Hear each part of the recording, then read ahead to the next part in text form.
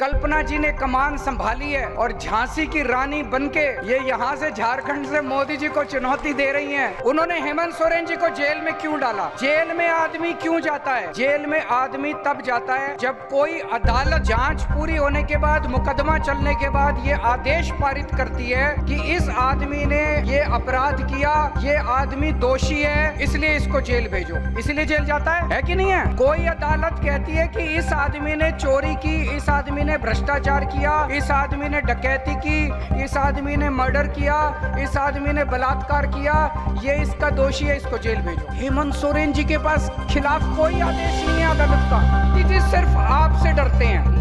हेमंत सोरेन जी, वो जेल में रहेंगे कि बाहर आएँगे, ये आपके ऊपर निर्भर करेगा। अगर आप लोगों ने कमल का बटन दबाया तो हेमंत सोरेन को जेल में रहना पड़ेगा। अगर आपने इंडिया गठबंधन का बटन दबाया तो चार तारीख को नतीजे आएँगे, पाँच तारीख को हेमंत सोरेन आपके बीच में होंगे दोस्तों।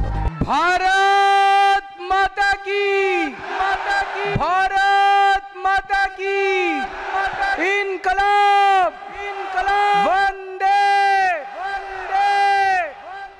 मंच पे मौजूद झारखंड के सम्मानित मुख्यमंत्री चंपई सोरेन साहब, मंच पे मौजूद पूर्व मुख्यमंत्री और मेरे भाई हेमंत सोरेन जी की धर्मपत्नी कल्पना सोरेन जी, झारखंड सरकार के सभी मंत्रीगण हमारे सांसद संजय सिंह जी, यहाँ पे आए हुए सभी विधायकगण, इंडिया गठबंधन के सभी पदाधिकारी, और यहाँ इतनी भारी संख्या में आए हुए मेरे सारे प्यारे बहनों, भाइयों, माताओं, बुज़ुर्गों, बच्चों, मेरा जोहार, नमस्कार, प्रणाम, सबको बहुत बहुत इतनी संख्या में आए बहुत बहुत शुक्रिया आप सब लोगों का। आज मैं यहाँ पे अपने भाई हेमंत सोरेन जी के समर्थन में आया हूँ। लेकिन उसके पहले एक बात कहना चाहता हूँ। लगभग आज से 35 साल पहले मैं जमशेदपुर में नौकरी किया करता था टाटा स्टील में।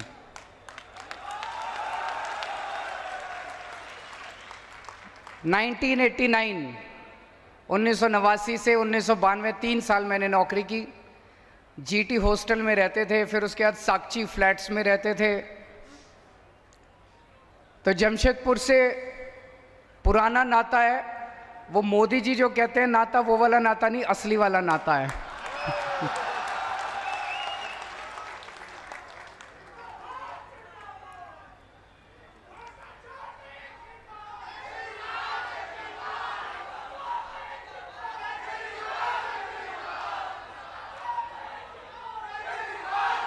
मैं जेल से सीधा आप लोगों के बीच में आ रहा हूँ। जेल से सीधा आप लोगों के बीच में आ रहा हूँ। और एक दिन मैं अपनी जेल के सेल में बैठा हुआ था, तिहाड़ जेल के। और मैंने टीवी में देखा, वहाँ हर सेल में टीवी उपलब्ध है सभी कैदियों को। टीवी में देखा कि सुप्रीम कोर्ट ने मुझे 21 दिन की मोहल्लत दे दी कि जाओ और चुनाव प्रचार करो। मुझे तो यकीन ही नहीं हुआ।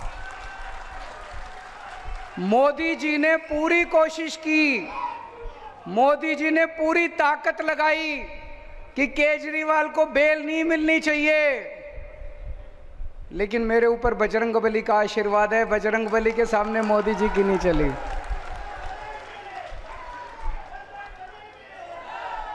बजरंग बली के सामने मोदी जी की नहीं चली और मुझे बेल मिल गई। चमत्कार हुआ एक तरह से। और देखिए, आज मैं आप लोगों के बीच में आ गया। अब मेरे भाई हेमंत सोरेन जी जेल में हैं। और मैं जानता हूँ कि झारखंड का बच्चा बच्चा हेमंत सोरेन जी से प्यार करता है। प्यार करते हैं कि नहीं करते?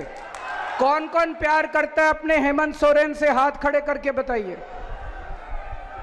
बच्चा बच्चा हेमंत सोरेन से प्यार करता है और मैं जानता हूँ इस वक्त आप लोगों के दिल पे क्या गुजर रही होगी? मैं आप लोगों का दर्द समझ सकता हूँ कि आप लोगों को कितनी पीड़ा हो रही होगी कि आपके अपने हेमंत सोरेन, जिसे आप अपने परिवार का, जिन्हें आप अपने परिवार का हिस्सा मानते हैं, वो आज एक राजनीतिक षड्यंत्र के तहत मोदी जी ने उनको जेल में डाल दिया। मैं उन्हें अपना भाई मानता हूँ कल्पना जी मेरी भाभी हैं और मैं देख रहा हूँ किस तरह से कल्पना जी ने कमान संभाली है और झांसी की रानी बनके ये यहाँ से झारखंड से मोदी जी को चुनौती दे रही हैं। मैंने बाहर आके सोशल मीडिया पे इनके कई भाषण सुने और मुझे ये लगा कि जिस मंशा से मोदी जी ने मेरे को और हेमंत सोरेन जी को जेल में डाला था मोदी जी ने ये सोचा था, केजरीवाल को जेल में डाल दूँगा, आम आदमी पार्टी बिखर जाएगी, फिर मैं इनके एमएलए खरीद लूँगा, फिर इनकी पार्टी को तोड़ दूँगा, इनकी दिल्ली में सरकार गिर जाएगी, इनकी पंजाब में सरकार गिर जाएगी। उसी तरह उनसे उन्होंने सोचा था कि मैं हेमंत सोरेन को गिरफ़्तार कर लूँगा, इनके एमएलए खरीद लूँगा, झारखंड मुक्ति मोर्चा तोड़ दूँगा, इनकी सरकार की उल्टा हुआ भाई साहब। पूरा उल्टा हुआ। जो आदमी गलत काम करता है अल्टीमेटली एक ताकत है जिसे हम भगवान कहते हैं। भगवान देख रहा है। दिल्ली के अंदर पार्टी के बिखरने की बजाय आम आदमी पार्टी एक परिवार की तरह एक साथ इतनी एकजुट हो गई। हमारे सारे एमएलए सारे सांसद, सारे काउंसलर जितने पार्टी के पदाधिकारी थे, सब एकजुट हो गए और डबल मेहनत के साथ मोदी जी को हराने में काम करने जुट गए। हमारी दिल्ली की सरकार नहीं गिरी, हमारी पंजाब की सरकार नहीं गिरी। उसी तरह से मैं अभी देख रहा था झारखंड मुक्ति मोर्चा। उन्होंने सोचा था झारखंड मुक्ति मोर्चा को तोड़ देंगे एमएलए। उल्टा हुआ। पूरे झारखंड के अंदर ऐसी ऊर्जा आई है, ऐसी ऊर्जा आई है मोदी जी को हराने के लिए कि पिछली बार तो एक या दो सीट आई थी। इस बार आपको कितनी सीट दोगे? कितनी सीट दोगे? कसम खा के जानी है आज। चौदह की चौदह सीट इस बार इंडिया गठबंधन को आनी चाहिए। एक चीज़ है जो आप लोगों को भी नहीं पता। दिल्ली के लोग दिल्ली के ढाई करोड़ लोग, हेमंत सोरेन जी के और झारखंड की जनता के तहे दिल से आभारी हैं। क्यों? कोरोना के टाइम में हेमंत सोरेन जी ने व्यक्तिगत तौर पे दिल्ली के लोगों की मदद की थी। हमारे पास ऑक्सीजन नहीं थी। ऑक्सीजन की दिल्ली में बहुत कमी थी। हमारे अस्पताल में बहुत लोग मर रहे थे। मैंने हेमंत सोरेन जी को फ़ोन किया और उन्होंने तुरंत हाथ की हाथ, क्योंकि झारखंड के अंदर कई सारी ऐसी इंडस्ट्री है टाटा स्टील है और बहुत सारी इंडस्ट्री है, जहाँ ऑक्सीजन पैदा की जाती है ऑक्सीजन बनाई जाती है। उन्होंने तुरंत मेरे लिए ऑक्सीजन का इंतज़ाम किया और दिल्ली के लिए ऑक्सीजन रवाना कर दी तो आज मैं यहाँ पे हेमंत सोरेन जी को और झारखंड की जनता को, दिल्ली के लोगों की तरफ़ से संदेश लेके आया हूँ। दिल्ली के लोग हेमंत सोरेन जी को कहना चाहते हैं we all love you we miss you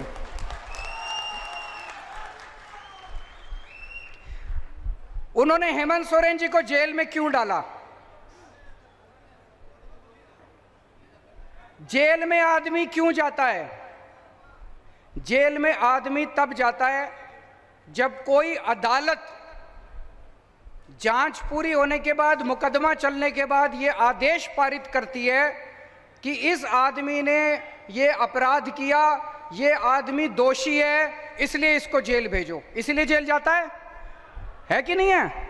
कोई अदालत कहती है कि इस आदमी ने चोरी की, इस आदमी ने भ्रष्टाचार किया, इस आदमी ने डकैती की, इस आदमी ने मर्डर किया, इस आदमी ने बलात्कार किया, ये इसका दोषी है, इसको जेल भेजो।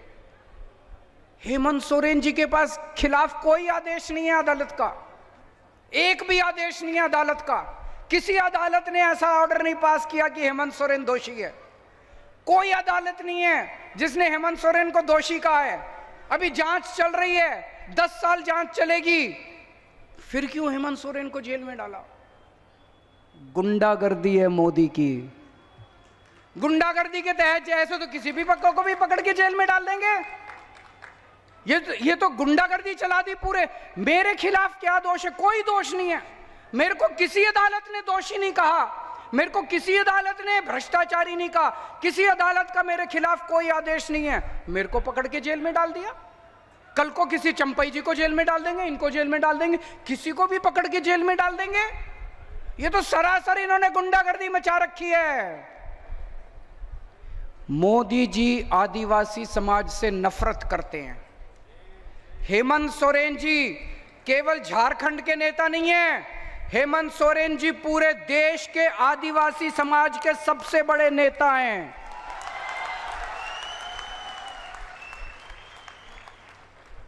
कहीं चले जाइए आप, मैं गुजरात गया, वहाँ पे लोग हेमंत सोरेन जी को याद करते हैं। आप मध्य प्रदेश चले जाइए, छत्तीसगढ़ चले जाइए।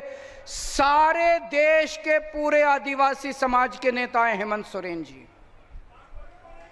आ रहा हूँ मैं, उस पर आ रहा हूँ, चिंता मत कीजिए। आज सभी मुद्दे उठाएँगे।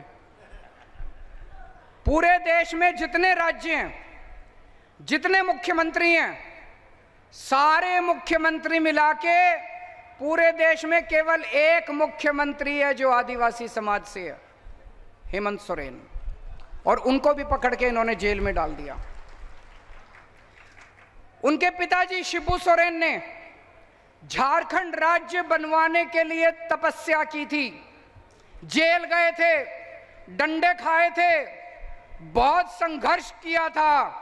आप लोगों के साथ मिलकर झारखंड की जनता के साथ मिलकर शिबू सोरेन ने संघर्ष किया था, बहुत उन्होंने तपस्या की थी। इस दिन, ये दिन देखने के लिए की थी कि एक दिन झारखंड राज्य बनेगा और मेरे बेटे को जेल में डाल देंगे। दुख होता है। और आज शिबू सोरेन जी की जो मैं पूछ रहा था अभी जब आ रहा रास्ते में, मैंने पूछा चंपई जी से, उनकी कैसी तबीयत है? उनकी तबीयत इतनी ज़्यादा खराब है, इतनी ज़्यादा खराब है। ऐसे वक्त में तो आदमी को अपने बेटे की ज़रूरत पड़ती है। मोदी जी ने इतनी भी दया नहीं की कि इतने बीमार बाप की बच्चे को उसके साथ रहने दे ताकि वो उनकी सेवा कर सके। ऐसी हालत में भी उन्होंने उनके बेटे को जेल के अंदर डाल दिया। तो मैं आज आप सब लोगों से पूछने के लिए आया हूँ। मोदी जी ने देश के पूरे आदिवासी समाज को ललकारा है। मोदी जी ने पूरे आदिवासी समाज को चुनौती दी है कि मैंने तुम्हारे नेता को, सबसे बड़े नेता को जेल में डाल दिया। जो करना है कर लो। आज मैं आपसे पूछने आया हूँ, हमने चूड़ियाँ पहन रखी है क्या? चुप बैठोगे क्या? कुछ करोगे? पूरे आदिवासी, पूरी देश के आदिवासी समाज को मोदी जी ने चुनौती दी है, कुछ जो करना है कर लो, मैं तो तुम्हारे नेता को जेल में डालूँगा।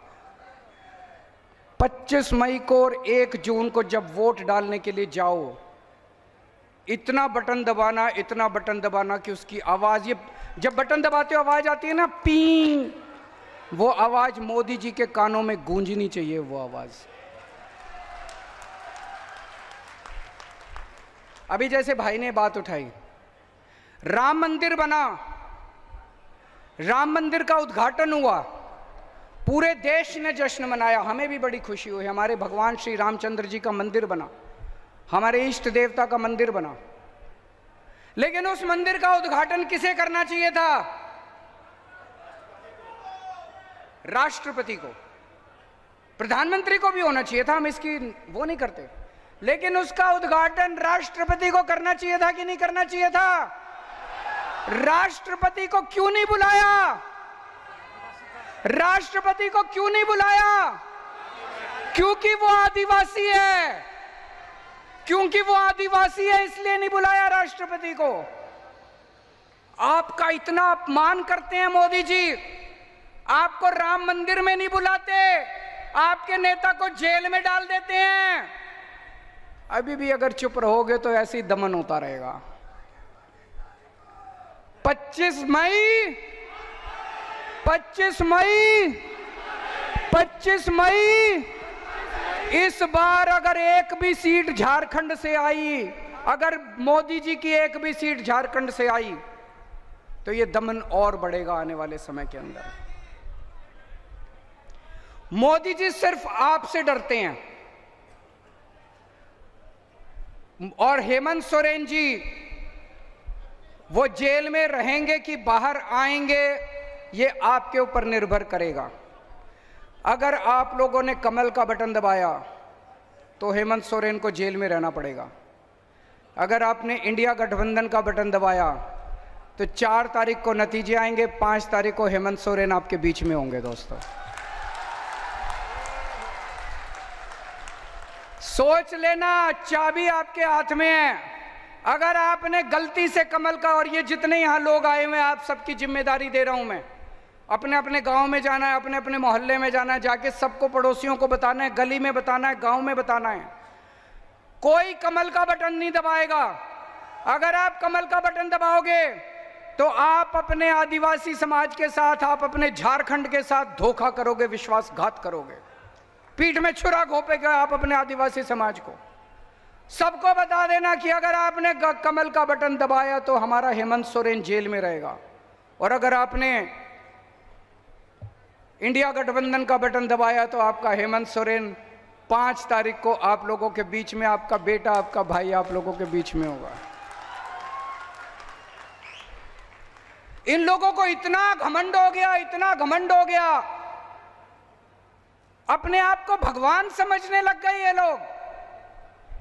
भगवान जगन्नाथ को कौन कौन मानता है? हाथ खड़े करो। भगवान जगन्नाथ को कौन कौन मानते हैं? कौन कौन उनकी पूजा करते हैं? भगवान जगन्नाथ पूरी कायनात के यूनिवर्स के देवता माने जाते हैं। जगतनाथ, जगन्नाथ, जगतनाथ। कल भारतीय जनता पार्टी के जो सबसे बड़े प्रवक्ता हैं, संबित पात्रा, उन्होंने कहा कि भगवान जगन्नाथ मोदी जी के भक्त हैं। मैं समझता हूँ ये हंसने वाली बात नहीं है। ये बहुत पीड़ादायक बात है। बहुत दुख देने वाली बात है। ये लोग अपने आप को भगवान जगन्नाथ के भी ऊपर समझने लग गए कि मोदी जी भगवान जगन्नाथ मोदी जी के भक्त है। मोदी जी, भगवान जगन्नाथ के भी ऊपर हो गए। इस बार इनको बदला तो मिलना चाहिए, इस अहंकार का तो नीचे लाना चाहिए। होना चाहिए कि नहीं होना चाहिए? ये लोग क्या नारा लगाते हैं? जो राम को लाए हैं, हम उनको लाएँगे। अरे, तुम राम को लाए हो? इस दुनिया में कौन हमें लाया है? भगवान राम हमें लाए हैं। मेरा, मैं अगर इस दुनिया में पैदा हुआ तो भगवान जगन्नाथ की वजह से पैदा हुआ, भगवान राम की वजह से पैदा हुआ।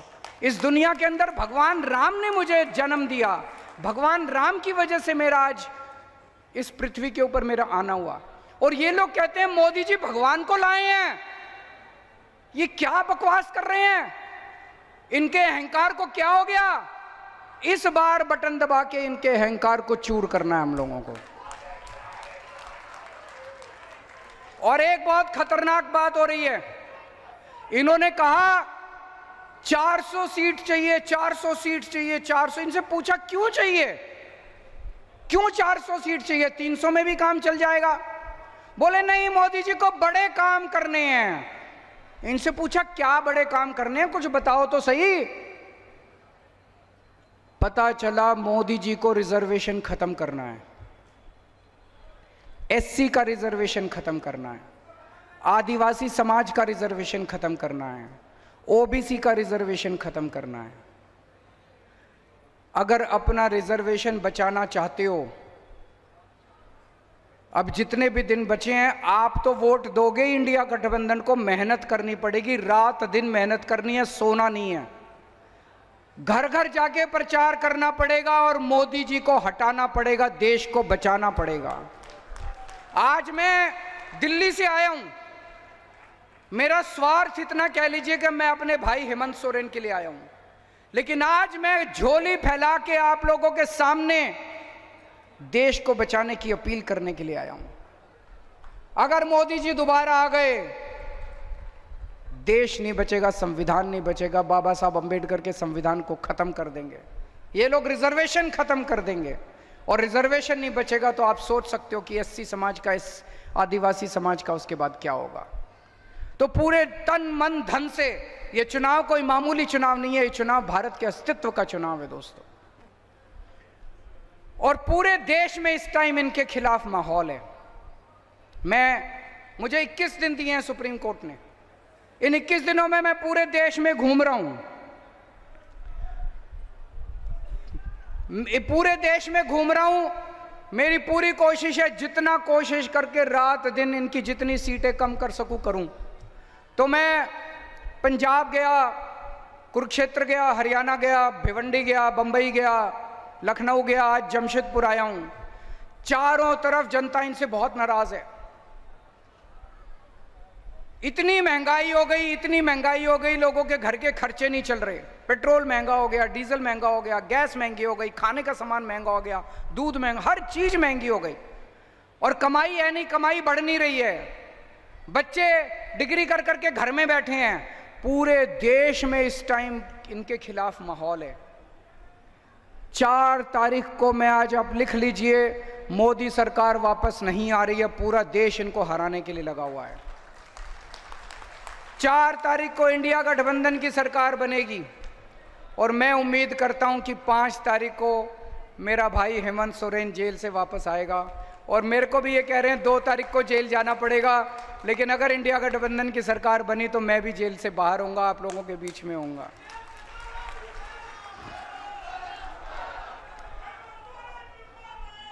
आप सब लोगों से विनती करता हूँ कि यहाँ के जो कैंडिडेट है, मोहंती जी, उनको भारी बहुमत से आप तीर कमान का बटन दबा के जिताइएगा। और आज भगवंत मान साहब भी आने वाले थे मेरे साथ, लेकिन उनके पंजाब में कई सारे कई सारे कार्यक्रम लगे हुए थे।